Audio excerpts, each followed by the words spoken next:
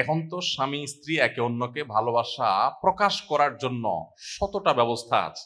ফোনে কল করে ভালোবাসা কথা বলতে পারে, মেসেঞ্জারে মেসেজ দিয়ে ভালোবাসা কথা বলতে পারেন হোয়াটসঅ্যাপে ছবি পাঠিয়ে ভালোবাসা কথা বলতে পারেন হ্যাঁ? রিয়্যাক্ট জানাতে পারেন, কতভাবে ভালোবাসা শুধু প্রকাশ করতে পারেন।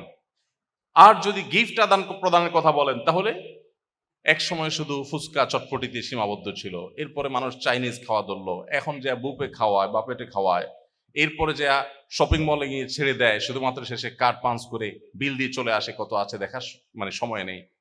ভালোবাসাবাসীর জন্য কত কিছু। মেয়েদের এন্ড থেকে যদি বলেন তো মেয়েরা সাজগোজ করা বলেন, নিত্য নতুন পোশাক আশাক পরা বলেন, স্বামীকে খুশি করবার জন্য, তাকে ভালোবাসা দেওয়ার জন্য, প্রকাশ করবার জন্য হাজারো আইটেম আছে। কিন্তু আজ থেকে ত্রিশ, চল্লিশ বছর আগে যদি চলে যাই, আমাদের মুরব্বীরা ছিলেন যারা বাপচারা চারা যারা ছিলেন, তারা তাদের স্বামী, স্ত্রী একে অন্যকে ভালোবাসা আমাদের মতো এত বেশি জাহির করার সুযোগ ছিল না। হোয়াটসঅ্যাপে মেসেজ পাঠানো আর ফোনে কথা বলা তো দূরের কথা।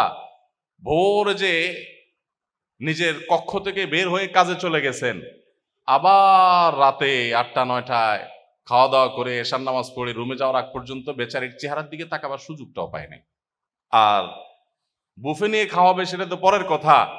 বছরে ঈদের সময় একটার বেশি দুইটা কাপড় কিনে দেওয়ার সামর্থ্য বা সুযোগও সেভাবে ছিল না। মাগার ভালোবাসাটা ছিল কিন্তু সুপার গ্লুর মতো। এখনও সে সমস্ত মুরব্বীদের দেখবেন, চাচা চাচিদের ছাড়া বাঁচেন না, চাচিও চাচারা ছাড়া বাঁচেন না। আর এখন ইয়াং ছেলেফেলেদের বিয়ের আগে যে ঘটা হয়, যে আয়োজন হয় মনে হচ্ছে রাজ্যের সকল ভালোবাসার বিনিময় আজকে হয়ে যাবে। কিন্তু কয়দিন যেতে না যেতেই নষ্ট হয়ে যায়। তো এই বাস্তবতাকে আমরা কি অস্বীকার করতে পারব? আমরা ধর্মহীন যে শিক্ষাকে আগলে নিয়েছি, আঁকড়ে নিয়েছি, ধারণ করেছি, চর্চা করছি, সে শিক্ষা দ্বারা আমরা নিজেদেরকে পরিচালিত করছি, সেটা আমাদেরকে সুখী করতে পারে নাই, কোনো সন্দেহ আছে? কেয়ামত পর্যন্ত পারবেও না। আপনি যদি বলেন যে আজ থেকে ত্রিশ চল্লিশ বছর আগের মানুষগুলো আর আমাদের মধ্যে কি ছিল, কি নাই? তো আমি বলব, ধর্মহীন শিক্ষা আমাদের মধ্যে আছে, তাদের মধ্যে ছিল না। নীতিনৈতিকতা, আদর্শ, দিনই শিক্ষাকে ধারণ করার প্রবণতা তাদের মধ্যে যতটা ছিল, এখন আমাদের মধ্যে ততটা। এছাড়া মৌলিক কোনো পার্থক্যের জায়গা আপনি বের করতে পারবেন না। এই একটি জিনিস তাদের এবং আমাদের মধ্যে সুখ এবং প্রকৃত প্রশান্তি পাওয়া না পাওয়ার বিষয়ে একবারে সুস্পষ্ট রেখাপাত করে দিয়েছে।